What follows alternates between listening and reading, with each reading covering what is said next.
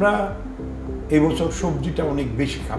কারণ আমাদের শরীরে যে এনার্জি দরকার স্টেমিনা দরকার, সেটা শাকসবজি, ফলমূল, মশলা, এগুলোর মধ্যে অনেক বেশি আছে। আমরা এই জন্যই বলি যে প্রকৃতি শক্তি প্রকৃতি মুক্তি। প্রকৃতি থেকে আমাদের মুক্তি নিতে হবে। বাড়ির পাশে, ঘরের আঙিনায়, রাস্তার ধারে, পুকুর পাড়ে, জলাশয়ে, অবহেলায় বেড়ে ওঠা গাছগুলো আমাদের জীবনের জন্য অনেক শক্তি যোগাতে পারে। আমরা প্রকৃতিকে অবহেলা করব না। আমরা সকলে এখনই সময় আমরা গাছ রোপণ করব, আমরা কলম রোপণ করব। প্রায় একশোটা গাছ আছে বাংলাদেশে যা শুধু ডালা কেটে রোপণ করলে পরেই আপনার গাছ হয়ে যাবে, কলমও করতে হবে না। যেরকম তুত গাছ, তুত গাছের মানে চার ইঞ্চি করে কেটে কেটে কেটে কেটে আপনি রাস্তার পারে রোপণ করেন। সকল পশু পাখি তুত গাছ খায় আমরা তুত ফল, যেটাকে মালবেরি বলি।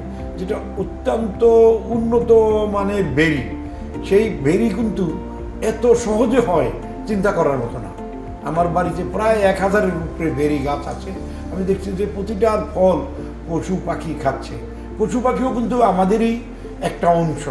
জীবের প্রতি দয়া করে যে জন, সে জন, সে বিছে ঈশ্বর আমরা অনেক সময় একটু ভুট্টা খেতে, একটু ধান খেতে, একটু গম খেতে পাখি আসে বলে আমরা অনেকে একটু বিষ জাতীয় জিনিস দিয়ে রাখি। আসলে এটা ঠিক না। ওদের কিন্তু খাবার কিছু রাইট আছে।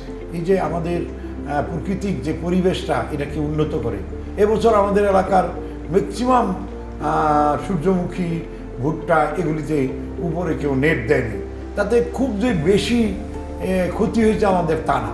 কারণ এমনিতেও আমাদের দেশে এখন পাখি কমে গেছে।